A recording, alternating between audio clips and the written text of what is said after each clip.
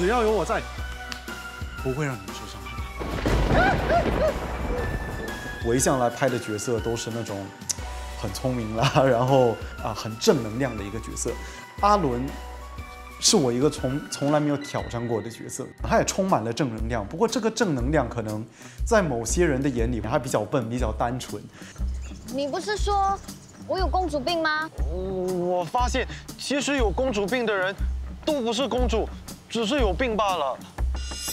在 social media 认识的他，他是一个冷公子，可是私底下他不是，他还挺有趣的，他还挺无厘头的。我是胸大，但不是无脑。很多人就是因为自己长得很帅，就会有偶像包袱去去演这个东西，可是他完全没有，他有时候会 over 做的更多。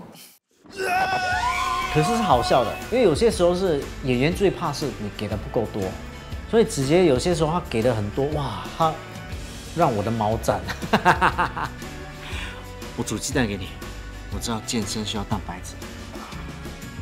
哦，我还剥壳，哇，你这哦哇，没有呃，我私底下也是一个比较无厘头的人啦，呃，我私底下也比较沙雕一点，呃，是，所以在某些情况下，我可以理解阿伦的一些行为，不过，嗯，也就这样吧，我愿意承认的也就这么多，笨方面我就不承认了。不是我，不是你，不是小芳姐，那会是谁？这里有几个人呢？一、二、三、四。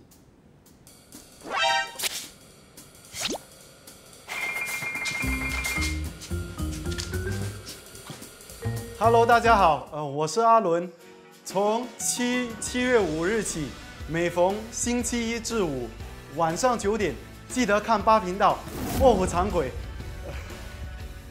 有我马达、小芳姐还有 NG，不见不散哦，拜拜。